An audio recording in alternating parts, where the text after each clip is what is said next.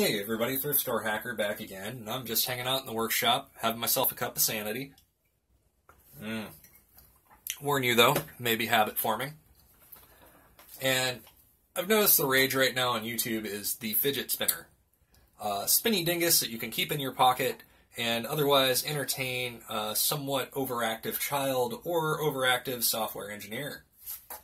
And today, let's take a thrift store hacker approach and try to make one out of just some stuff I have laying around the shop. And first thing I went to was for the base is this acrylic that I got for the underwater camera. And you can get these sheets, they're roughly about 8 by 8 They're cut-offs from larger projects. You can get them at the plastic store for 50 cents, maybe a buck. And I have a piece from uh, a previous project that's going to fit the size that I want. And I figured what would be really cool is to make one that's the size of a credit card. Now this is roughly the size of a credit card, give or take a few millimeters. And we can just put one bearing right in the middle of it and have ourselves a nice fidgety dingus. So to start off, we take one of these bearings here. And these bearings came from, I think they came from a skateboard or a razor scooter or something like that. You know, just something I had lying around that uh, I decided to keep the bearings out of because bearings are handy and kind of expensive on a small per part basis. I'll put that in the center there and I'll draw a circle around the outside of it. We can clean the uh, the excess off with a little alcohol later. We have our circle there. I'm going to take the drill out, drill a hole through it.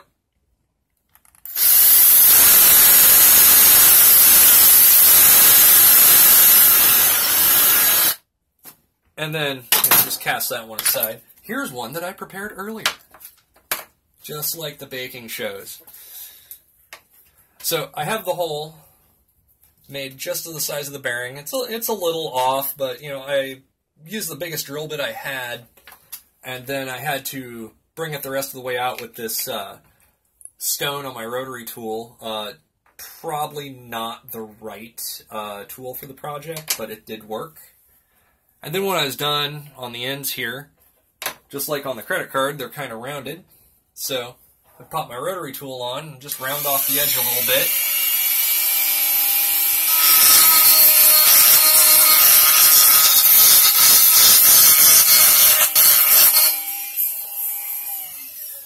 A nice rounded edge on them. Uh, it's not really as sym uh, symmetrical as I'd want it to be because it's just kind of a junk part, but it's close enough. It's fairly well balanced.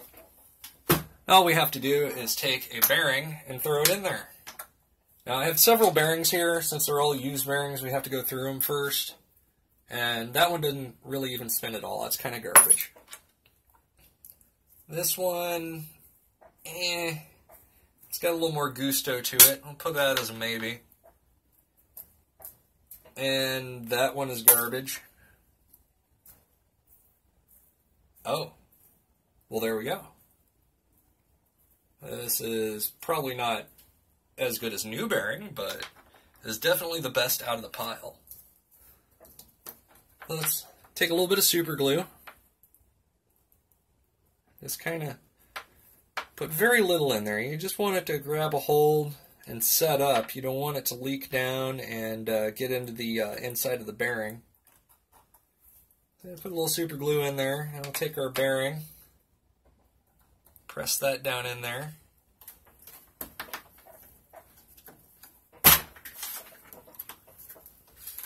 Ah, there we go.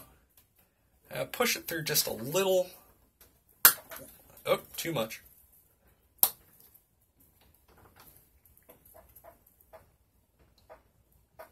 There we go. I push it through just a little bit more because the bearing is a little bit thicker than the acrylic. And we'll just set that there and let that set up for a second. Now I thought, you know, the, the credit card uh, size fidget spinner would also be an awesome business idea.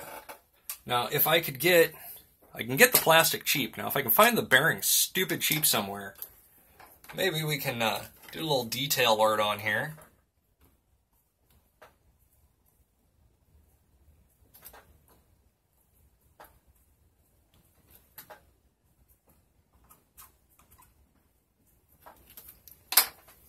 You make your own fidget spinner business cards. I guarantee it might cost you a lot more to have a box of these made up, but how many people are going to play with these?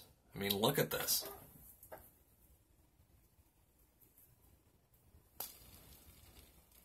Eh, it spins pretty good. Now, once you get it together, you might, you know, if you're going to fine tune this thing, you're probably going to have to still grind more off each side until you get it all balanced out. But I think that's working out pretty good here.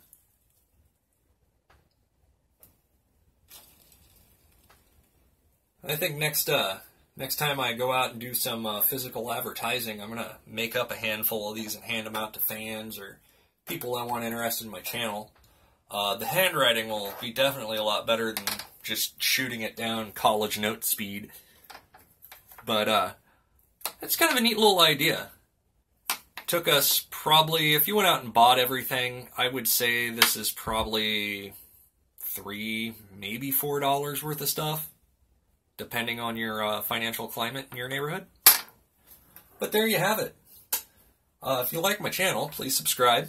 Uh, give me a thumbs up if you like the video. Um, until next time, build stuff and have fun.